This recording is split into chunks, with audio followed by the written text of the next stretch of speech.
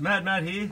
As you know, I've been slowly doing the bar work on the Bundera, so we started with the front bull bar, which was that. We made that up with a winch cradle, little bit of factor 55, and uh, yeah, so just made the front up and just finished fitting up rock sliders. So I made these up myself.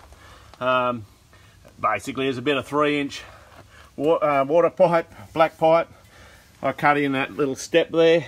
So you got a bit of a tread plate wrapped align it and then just two braces back and I've just welded it straight up to the chassis. Yeah, I know everybody's going to say, oh, it'll crack next to the welds. You've got to have a chassis that flexes for that to happen. So I'm pretty happy with that. And uh, I've got, I've halfway, I've made front flares for this.